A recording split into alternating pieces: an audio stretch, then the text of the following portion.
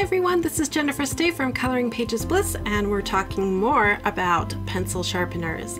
In this video we're going to talk about the Alvin Brass Bullet and this little tiny pencil sharpener really packs a punch. It's quite heavy in the hand but it is really easy to grip and hold on to and it has a nice little steel blade inside of there that is also made in Germany just like the KUM sharpeners that I like so much Now the brass bullet is available um, on Amazon and also at dickblick.com. On dickblick.com I found it for $6 so it's a good value.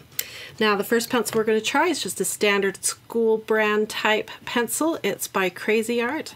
So let's see how it performs. Remember as always you hold the pencil still and you move that sharpener around your pencil so that you protect the core of your pencil.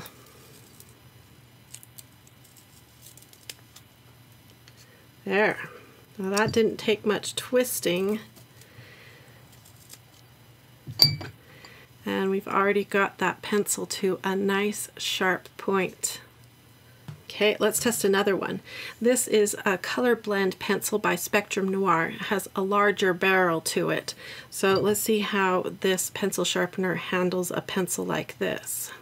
It's a beautiful curl that comes off of it. That's a good sign of a very sharp blade. Very nice. And look at that curl we got. Next up, we have the Prismacolor Premier Pencil.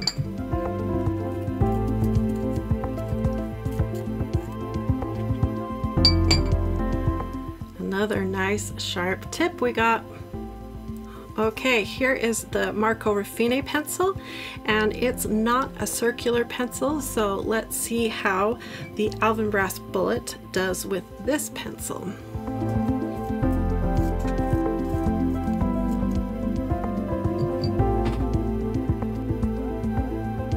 Beautiful. Next pencil we have to test is a triangular shaped pencil by Staedtler.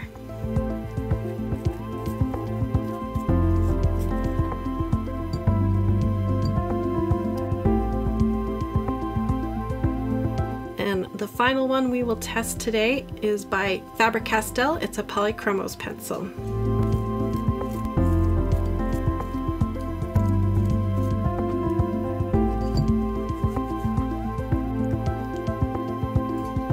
Beautiful.